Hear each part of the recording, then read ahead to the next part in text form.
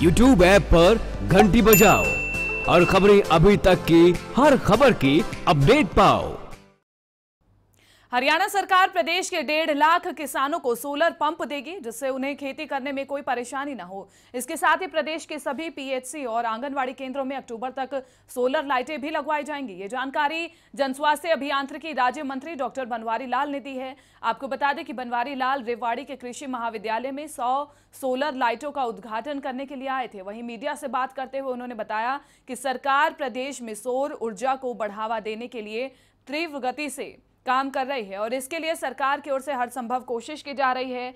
इसके साथ ही उन्होंने बताया कि राज्य के सभी वरिष्ठ माध्यमिक स्कूलों में रुके टॉप सोलर पावर प्रोजेक्ट लगाए जाएँगे ताकि बिजली की कमी को पूरा किया जा सके।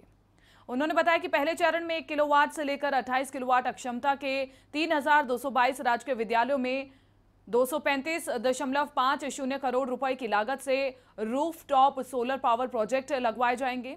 उन्होंने बताया कि बड़े स्तर के सरकारी भवनों पर 24 मेगावाट अक्षमता के रूफटॉप सोलर पावर प्लांट एक सौ सैंतीस करोड़ रुपए की लागत से लगाए जाएँगे, जिससे वार्षिक 36 मिलियन यूनिट बिजली का उत्पादन होगा और इससे सरकारी विभागों में इक्कीस करोड़ रुपए बचाए जा सकेंगे।